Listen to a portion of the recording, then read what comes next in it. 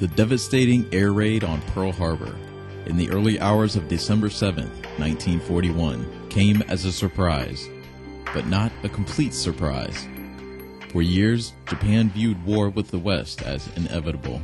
She needed room to expand. Looking out across the Pacific, Japan saw the colonies of Europe and the United States. Despite threats from the Western powers, Japan decided she needed colonies too. Japanese expansion began against the weaker nations of Southeast Asia, Korea, China, Indochina, with designs on Burma and Singapore.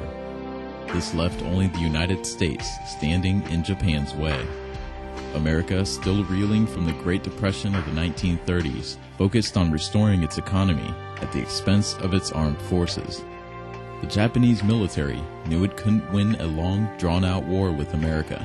If they were going to fight, they would have to hit hard, fast, and first.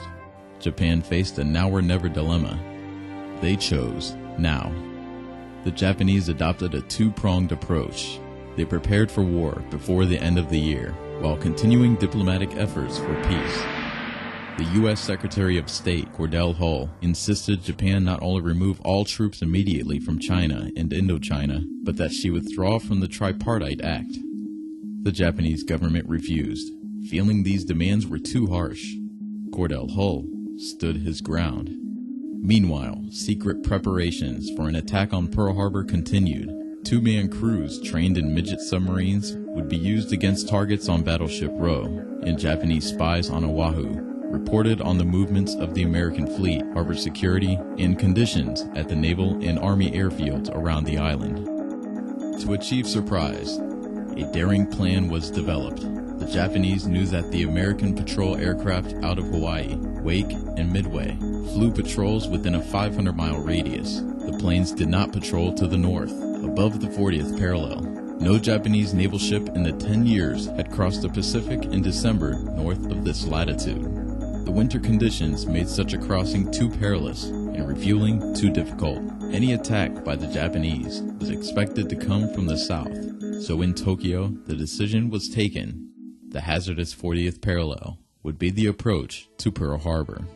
In Washington, a coded telegram was sent to all U.S. military commands in the Pacific. The peace talks with the Japanese were not going well, all installations were alerted to be on the lookout for Japanese moves against the Philippines, the Thai, or KRA peninsulas, or Borneo. The warning specified that if hostilities cannot, repeat, cannot, be avoided, the United States desires that Japan commit the first overt act. The messages did not mention Pearl Harbor. In Washington, peace negotiations continued, but in name only. Japanese diplomats in America had not been told of the Armada, steaming east 3,300 miles across an icy Pacific. Instructions were sent to Japanese ambassadors in Italy and Germany to inform Mussolini and Hitler that war may come quicker than anyone dreams. These messages were intercepted by American codebreakers. Still, no one in the U.S. knew of or even imagined the war fleet bearing down on Pearl Harbor.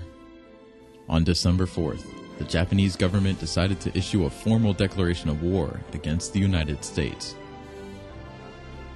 On December 5th, a message was intercepted by the U.S. codebreakers instructing the Japanese envoys to burn papers and destroy code machines. American intelligence knew an enemy attack was imminent, but where? U.S. military commands throughout the Pacific were on guard. At Pearl Harbor, vigilance was increased against sabotage or submarine attacks but no other routines were changed. Air patrols took off as scheduled. Anti aircraft batteries were lightly manned. The sailors aboard ships in the harbor, soldiers in their barracks, settled in for a pleasant Hawaiian winter weekend. Early on December 7th, a cable arrived at the Japanese embassy in Washington. This was the formal declaration of war. 200 miles north of Hawaii, the Kido Butai reached its launch point at first light, pilots strapped themselves into their cockpits. Large ocean swells rocked the carriers. The deck swayed up to 15 degrees. These conditions would have canceled any exercise, but this was no drill. On the Akagi, the signal was given. The first zero zoomed forward, off the deck, dipped to 15 feet above the ocean, then banked left and climbed. Following him was the first wave of the air assault 183 fighters, bombers, and torpedo planes.